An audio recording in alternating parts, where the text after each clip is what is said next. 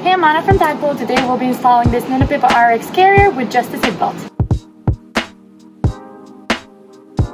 Place your carrier rear facing and make sure that the blue line on the side is parallel to the ground and that you're not parked on a hill.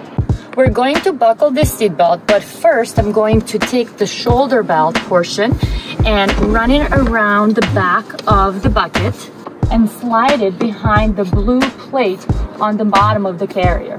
This is called the European belt method installation where the shoulder belt part goes um, around in multi-directional angle. And once you've done that, you're going to buckle the seat belt. and I'm doing that last because this retractor always keeps locking.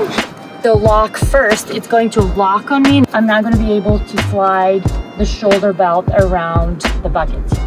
Our retractor has already locked, which is helping you to get this bucket nice and tight into the seat crease, but you're going to push down on the car seat and pull on the shoulder belt to get any excess slack out of that seat belt. While also paying attention that your bucket is still parallel to the ground in reference to the blue line on the side.